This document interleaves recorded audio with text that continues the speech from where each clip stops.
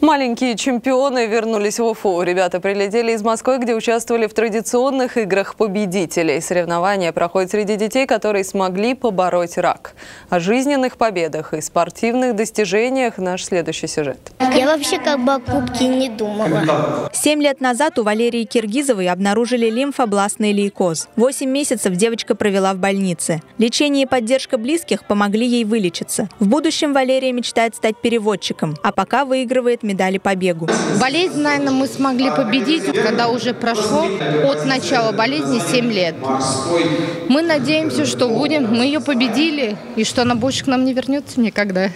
Уже 10 лет игры победителей объединяют детей, которые смогли победить рак. Первые соревнования прошли в Варшаве.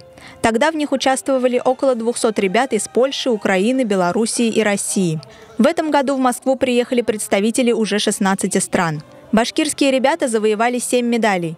5 золотых, одну серебряную и одну бронзовую. Первую медаль я получила за бег, вторую за футбол, а третью нам просто давали. Бороться с болезнью ребятам помогают не только врачи и близкие, но и сотрудники Уфимского фонда «Потерь нет». Они поддерживают маленьких спортсменов и учат побеждать. Мы э, следим за жизнью этих детей, мы видим, как они меняются.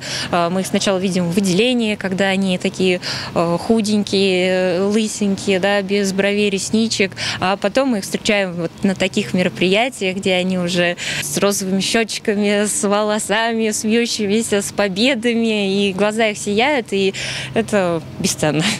В аэропорту ребят встречают с кубками и дипломами. Каждый получит награду вне зависимости от того, какое место он занял на соревнованиях. Ведь все они смогли одержать свою главную победу – победу над раком. Гульфия Мухаммадшина, Ильдар Каюмов, городской телеканал ЮТВ.